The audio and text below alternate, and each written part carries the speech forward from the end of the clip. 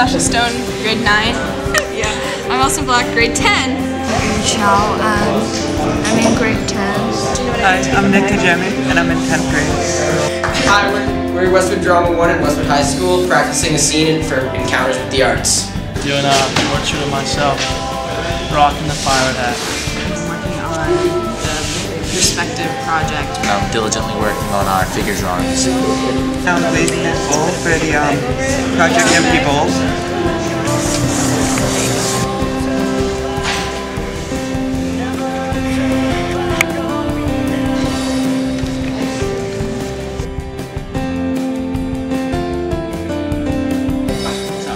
So, hey, it's all, it's, it's great.